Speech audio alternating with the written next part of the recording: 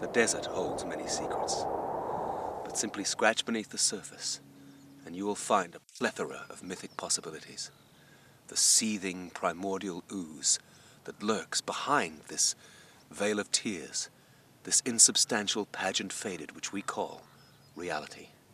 And it's in this fecund creative slime that you'll find the awesome, mesmerizing power that is bitch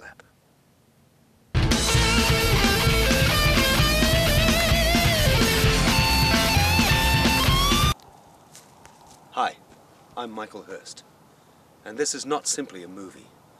It's a searing indictment of the social mores that pervade the rapidly expanding nihilism in modern society.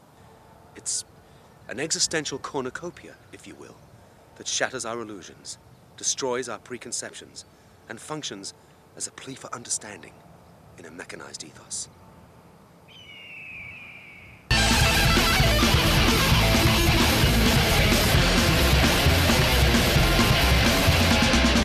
Encapsulating in one brave stroke the struggle for identity in a societal wasteland, Bitch Slap carves this existential menage across the moral canvas in a blaze of unremitting alacrity.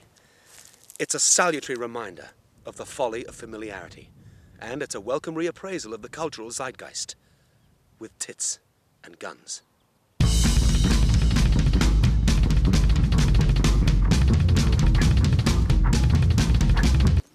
Producers have been fearless in their exploration of the minutiae of human existence, in exposing the loneliness of each, the bedrock of the human condition. They've looked into the awesome abyss of time. They've stared down the demon of sex in a cataclysm of linguistic contortion. And they have stepped beyond the mere phantasmagorical into a world shriven of all its external paraphernalia.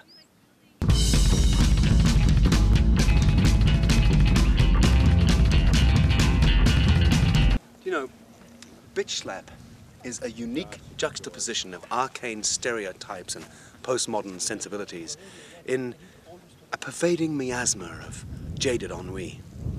Many people would call it a hyperbolic parable, and yet for me, this movie will always remain strangely prophetic in its, dare I say it, revelatory use of tits and guns.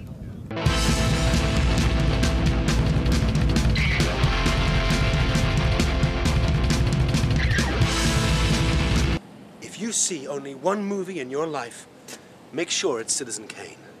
But if you plan to see more than one movie, Bitch Slap is the one for you.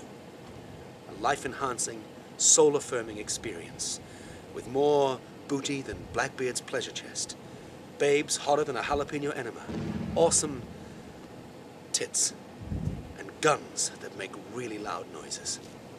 Thank you.